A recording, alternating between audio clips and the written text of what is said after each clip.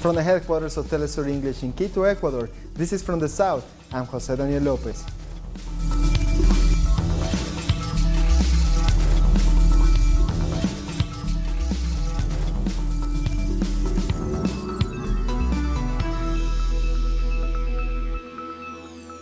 A day ahead of the midterm elections in the United States, President Donald Trump has reimposed full sanctions against Iran. He called them the most severe sanctions ever. Ma millions of Iranians protested on Sunday against the United States action. The demonstrations also marked the anniversary of the seizure of the U.S. Embassy in 1979. Marchers held banners saying, Down with the U.S. and Dead to Israel. Iran's President Hassan Rouhani has gone on television to promise that his country will continue to sell oil in spite of the sanctions. The 40 year history of the Islamic Revolution is one of frequent failures by America in Iran and in the region. And with the help of God and the resistance of our people, this last trick of the enemy, which means economic warfare, with remarkable support from the American media against the Iranian nation, will also fail. President Trump has been campaigning across the country in the run-up to Tuesday's elections. On Sunday evening, he was in Georgia, where the Democrat Stacey Abrams is hoping to become the first black woman governor in the history of the United States. Trump called Abrams one of the most extreme far-right, far-left politicians in the country, and once again he warned that his government will not let the migrant caravan crossing Mexico enter the United States. How about that caravan? Do you want to let that caravan just pour in? I don't think so. In the meantime, you saw last week I called up the United States military. We're not playing games, folks. There's no game. Because you look at what's marching up, that's an invasion. That's not, that's an invasion. Trump's administration has been reinforcing the southern border since Friday. There are more than 2,000 additional soldiers, helicopters, drones, and barbed wire that are already more than 3,000 National Guard members and could reach to 15,000, the biggest contingent used in decades inside the U.S. Our correspondent in Washington, D.C., Alina Duarte, brings us more. These midterm elections are considered the most important since Donald Trump took office. They have even been labeled as a referendum to Donald Trump's administration. Several subjects have been discussed during his campaign. Subjects like immigration. Donald Trump keeps insisting that immigration is a great threat. Nevertheless, he hasn't mentioned yet the damage caused by weapons, carried primarily by U.S. citizens. For instance, the horrible shooting in Las Vegas or the recent tragedy in Pittsburgh. Donald Trump also mentioned in one of his events that the Democratic victory would trigger a socialist movement and the arrival of thousands of Central American criminals to the U.S., referring to the caravan coming from Honduras. In these elections, various positions will be balloted. A total of 36 governors, 35 out of 100 senators, and 435 seats in the Chamber of Representatives. According to the polls, the Republicans are about to lose, but the senators' chamber can be won by the Republicans. Nevertheless, anything can be expected on Tuesday when the midterm elections hit the polls. But despite the negative messages about the migrant caravan from the U.S. administration, many people believe they should be welcome. That is the case of residents in the small Texas border town of San Elizario. People believe that members of the migrant caravan making its way toward the U.S. are hard-working people. Many of the inhabitants also have a migrant background, and they want new migrants to have the chance they had when they arrived to the country. It's not an issue for me for any kind of immigrant coming in because they're humans, we're human too. We're, we were born and we were taught how to treat them with respect. Also, a balloon that represents Trump as a baby has been launched by political activists in San Diego to reject his policies over migration. The balloon depicts an orange-colored baby Trump dressed with diapers with small hands and an angry face to mock the U.S. president. He is infantile. He is like a toddler when things don't go his way. Do you ever see him get interviewed? And it, it's in some of our most horrific things that have been happening around the world hurricanes, shootings, bombings. He always manages to make it about him. Isn't that funny? Donald Trump has moved the United States, uh, if not into fascism, right up to the point where uh, we're now in a fascist uh, police, uh, police state with threats of more wars. And Guatemala's President Jimmy Morales is in the United States to discuss the migrant caravan. He will visit a migrant shelter which temporarily houses children who have been traveling along in the caravan. He's also going to Honduras to meet President Juan Orlando Hernandez. Morales had also scheduled a visit to El Salvador, where he will meet Vice President Oscar Ortiz. Meanwhile, the migrant caravan continued its march to the north. An advance group from the first caravan has already entered Mexico City. There have been a sports stadium. Others decided to gather in Puebla to rest and to wait for more migrants to arrive. They plan to set off early this, this Monday for Mexico City and at 100 kilometers away. Well, I'm a bit exhausted because of the cold and because we have not eaten. Everything else is going well, thank God. I'm having health, I just have not eaten. What I want to do? Well, help my parents, get them out, give them everything I can. Our correspondent Eduardo Martinez has more on the first caravan. We are here in the community of Ciudad Isla in the state of Veracruz. Families have gathered here to continue their journey to the state of Córdoba. I want to show you how some families are in desperate need of transportation, which is very hard to find, because not everyone is willing to help them. Still, they are very grateful to those who help them with food, water, and clothes. Many people are in need of clothes since it's very difficult to bring luggage with them, mostly because it's difficult to walk for long hours with too much luggage. We will keep you updated as soon as we get more information about this migrant caravan that still has almost 300 kilometers to go. The first caravan has decided to continue moving till the Mexico City. They continue their journey either on foot or hitched for rides in trucks after the governor of Veracruz didn't fulfill his promise of providing 162 buses to carry them. Nos vienen engañando todo el camino. Todo el camino los han engañado. Exhausted from their long walks, these families have decided to push through, just carrying the few belongings they brought along from home. We want to arrive to the Mexico City now. It's already been so late. The other caravan will catch up with us. What else can we do? Help and support for them has declined. They have been walking for two weeks already in the Mexican territory, but have hardly covered 740 kilometers. Their desperation is starting to grow. There have been some clashes among the migrants to get a place in trucks in order to reach their next stop faster.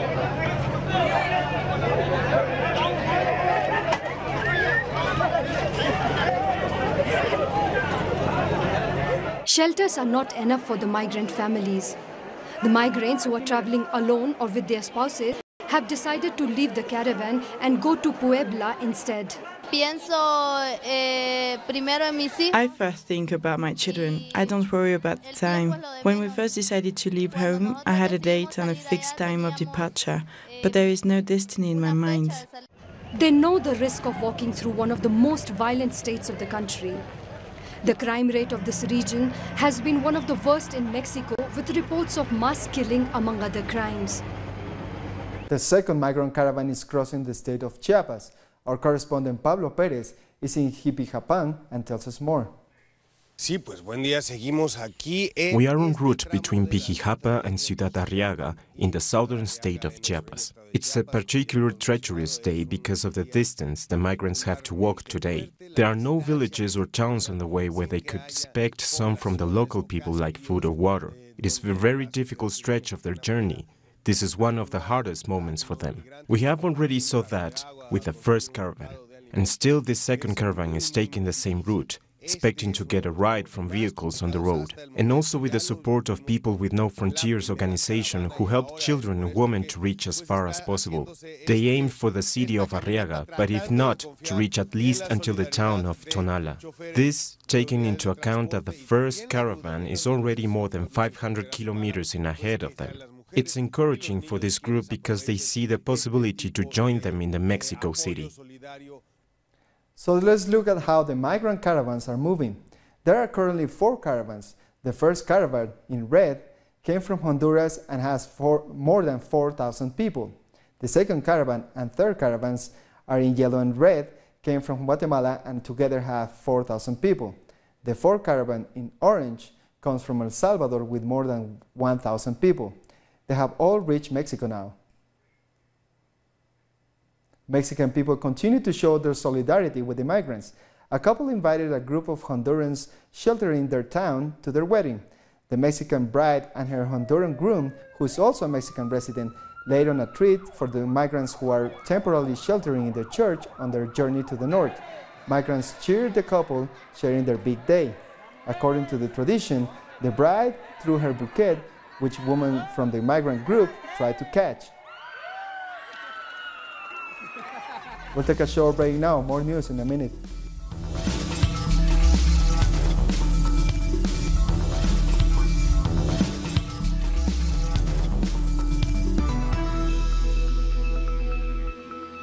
Welcome back. Three Venezuelan soldiers guarding the border with Colombia have been killed after an attack by paramilitary forces. Venezuela's Minister of Defense, Vladimir Padrino, explained on Twitter that a dozen more were wounded, including officers. Padrino said this was a payback for capturing nine members of a paramilitary group in the area who were in possession of heavy weapons. A group of 91 Venezuelans have departed the Dominican Republic to return to their country as part of the Venezuelan government's Return to the Homeland plan. This is the second flight from the Dominican Republic.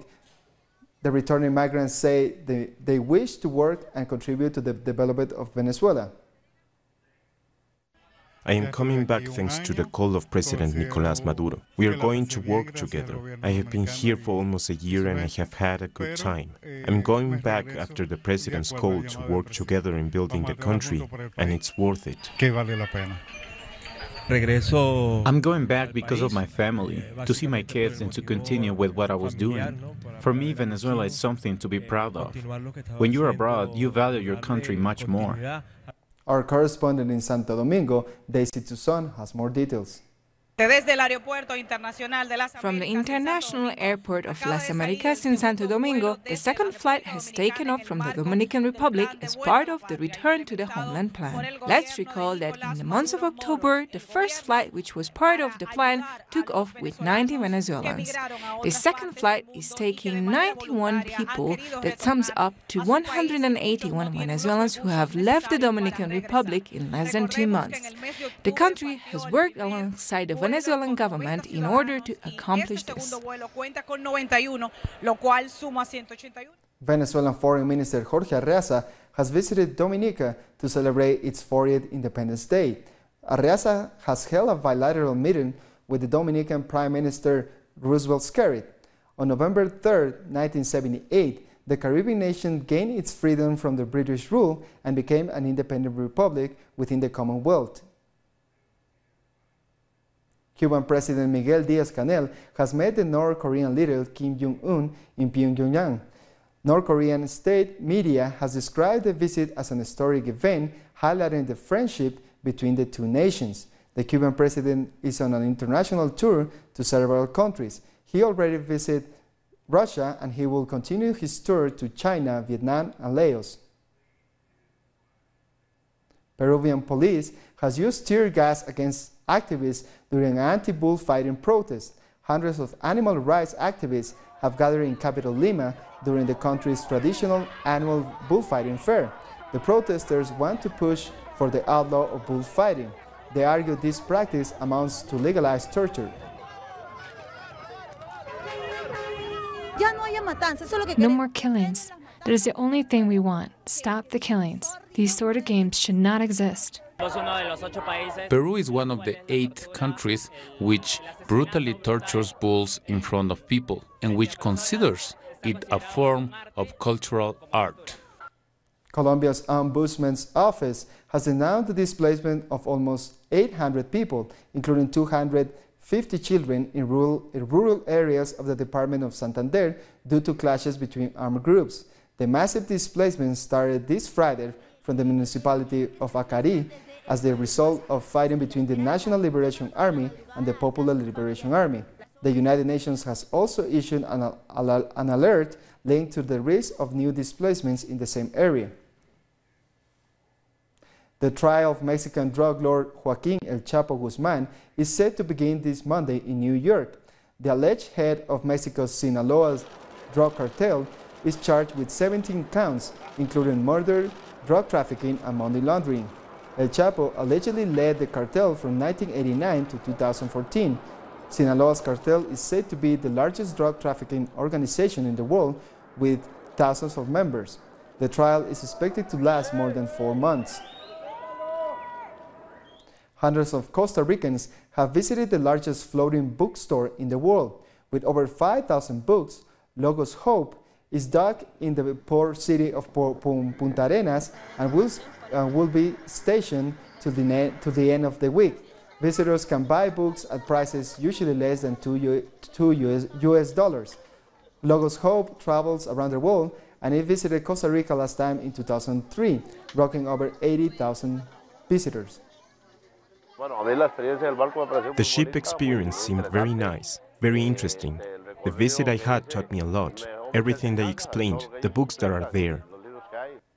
Roger Waters, the co-founder of world-famous band Pink Floyd, has been made an honorary citizen of Uruguay's capital, Montevideo. During his visit, during his visit to the city, he participated in an event to support Palestine. Roger said Israel has never had the intention to allow a Palestinian state the musician played a concert at the Estadio Centenario. We'll take another short break now. Join us in a few.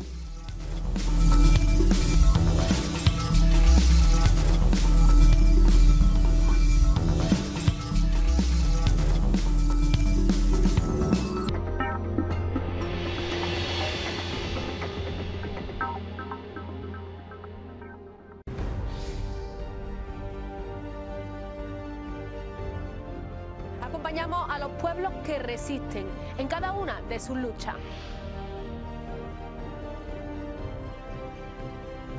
Somos esa ventana que se abre para visibilizarlos entre fronteras.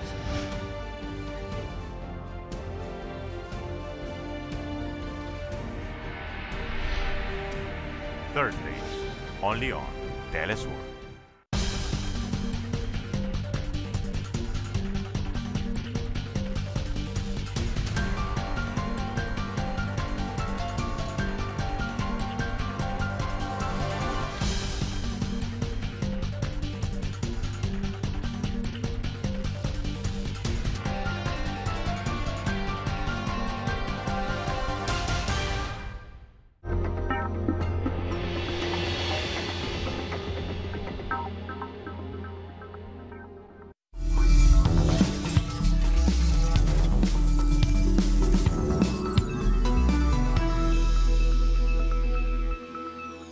Welcome back. Presidential candidates in Madagascar are stepping up their campaign just a few days ahead of the November 7th election. The current president faces two main opponents. The three of them have the, the challenge of convincing voters against abstention in a country engulfed by poverty and corruption. They promise to put the economy, the economy back on track, but many voters dis distrust all the candidates. The African Union has warned about the loss of wildlife in the continent, mainly due to human activities. During a meeting in Rwanda's capital, Kigali, the organization highlighted the importance of em empowering communities around protected areas to adopt sustainable development for both people and animals. It also stressed the importance of promoting strategies against poaching and illegal trade. And while storms continue to rage across Italy, at least 12 people have been killed on the island of Sicily, raising the overall death toll to 29. Among the victims are nine members from the same family who died after an overflowing river flooded their house. Some of the worst hit regions are Trentino and Veneto in northern Italy. In Veneto, where Venice is located, damage could be worth more than a billion US dollars. Ci dispiace per tutto quello che è successo perché siamo sconvolti, perché è una tragedia che si poteva evitare, non so, volendo il fiume, non, non, glielo so dire, purtroppo è successo. E quando succedono queste tragedie, succedono da un momento all'altro, non è che ti dà nessuna avvisaglia, perché fino a ieri pomeriggio quasi stava bene, quindi non, non sappiamo. Mi dispiace tantissimo per questi Hundreds of people in Syria have attended the funeral of a girl killed in a bombing near the Turkish border. Sara Mustafa died in the village of Talfinder, reportedly during a Turkish attack on Kurdish positions. Turkey had already announced that it was planning military operations in the area. Ukrainian anti-corruption activist Katerina Gandziuk has died in hospital three months after being seriously injured in an acid attack. Dozens of people gathered in front of the, of, in front of the Ukrainian Interior Ministry in Kiev to demand justice. Gandziuk was a city council member of Kherson and an outspoken critic of police corruption. She was attacked in July 2018 by a man who poured a liter of acid over her. Over her.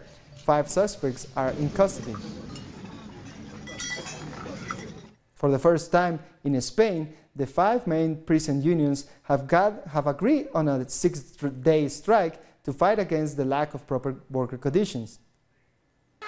According to the unions, the two-day strike in October was very successful. The unions blame the Interior Ministry for withdrawing an economical package offer just two days after proposing it in September. The government had proposed allocation of 140 million US dollars to improve the salaries of the workers. Más Better salary, better working conditions, and improved security for all of us, interns and workers of prison institutions. This money would increase the average salary of workers to almost 400 US dollars per month in three years, a salary they ask in addition to their present pay. There are huge gaps in salaries in prisons, sometimes as high as 800 US dollars, even when we are doing exactly the same job. In addition, they also denounce privatization of security services and the lack of investment in prisons. They also complain against the government's ignorance against the workers in the health and sanitary sectors. There has been a decline in the working conditions in total of 84 Spanish jails. In short, current degradation working conditions in the 84 Spanish prisons. The Spanish penal system would die as we know it because of worsening of public employment and lack of investment in public workers' welfare. This conflict started during the rule of the Popular Party. Then, the PSOE made promises to the unions, but when they came to power, they failed to fulfill their commitments. They're completely silent now. If there is no answer, we will intensify our protests and demonstrations. The Workers' Union prefer to avoid this confrontation but remain strong in its decision. There are still four days of the strike called for November. They are confident that these strikes will be beneficial not only for the public workers, but also to improve the human rights of prisoners. People in New Caledonia have voted in favor of remaining part of France in an independence referendum held this Sunday. Official results say the no vote for independence achieved 56% of the vote share, while the yes side got a 43%. The turnout was 80%. Are, the Pacific Archipelago still has the chance to vote two times more until 2022, after a deal in 1998 following a violent campaign by separatists belonging to the native Kanak population. The French city of Toulouse has hosted a show in which residents were drawn by a march with giant mechanical creatures. As part of a stunt by the French street theater group, The Machine, dozens of artists operate Ariane, the 13-meter tall spider, and Asterion, the 14-meter-high minotaur. The, the, creatures are part of the group's Guardian of the Temple show and are based on ancient Roman ruins found nearby.